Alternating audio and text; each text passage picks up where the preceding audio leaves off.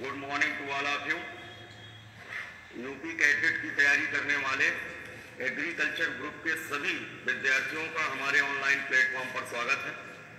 बच्चों, कल हम लोगों ने जो है घातांक के most important questions UP UP cadet में आ चुके थे, उनका हम लोगों ने अध्ययन किया था।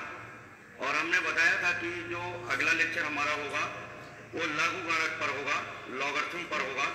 तो आज बच्चों, हम लोग इस लेक्चर में लॉग के बारे में जानेंगे और लॉग से संबंधित कुछ महत्वपूर्ण सूत्रों को याद करने का प्रयास करेंगे। तो बच्चों, सबसे पहले हम लोग लॉग को पढ़ना है तो सबसे पहले घातांक के बारे में समझते हैं। जैसे हमने घातांक में आप लोगों को बताया था ए की पावर एक्स जैसे दो की घात तीन बराबर आठ होता है टू की पावर थ्री बराबर आठ होता है।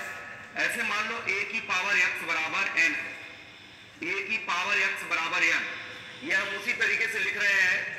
जैसे कि आप लोग जानते हो, दो की घात तीन का मतलब होता है आठ। उसी तरीके से हमने मान लिया, कोई भी संख्या ए है, उसकी घात यक्स मतलब ए को यक्स बार गुणा किया गया है तो ये कितना मान प्राप्त हुआ है? एक्स मान प्राप्त हुआ है। A to the power x बराबर एन, ठीक है? ए ए मतलब जैसे टू है एक्स का मतलब जैसे यहाँ थ्री है, और एन का मतलब यहाँ पर आठ है। तो अगर ए की पावर ध्यान रखिएगा, यदि ए की पावर एक्स बराबर एन ए का मतलब होता है ये आधार है। इसको बोलते हैं बेस ये आधार है। यक्स का मतलब होता है घातांक। ये हमने आप लोगों को पहले ही लेक्चर में बताया था। ए की पावर एक्स में ए को बोलते हैं बेस और एक्स को बोलते हैं एक्सपोनेंट या पावर या उसी को घातांक बोलते हैं। और ए की पावर एक्स का मान एन है। तो अगर ए की पावर एक्स बराबर एन है तो ध्यान रखिएगा, इसे लघुगणकीय रूप में कैसे लिखेंगे? इसको अगर लॉग रूप में लिखना है तो लिखते हैं लॉग और यहाँ पर जो वैल्यू है, जो संख्या है, वो यहाँ लिखेंगे लॉग एन जो आधार यहाँ है, वही आधार यहाँ पर लिखा जाता है लॉग एन बेस ए बराबर जो पावर है, वो आ जाता है। लॉग एन बेस ए बराबर क्या हो जाएगा? यक्स हो जाएगा।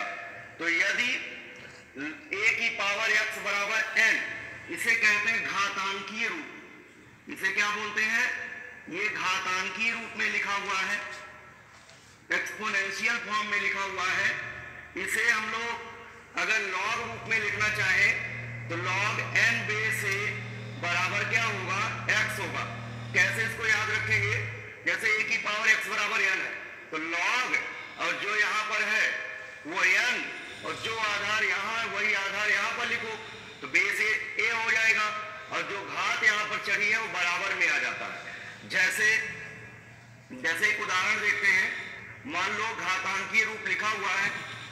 टू की पावर थ्री बराबर आठ।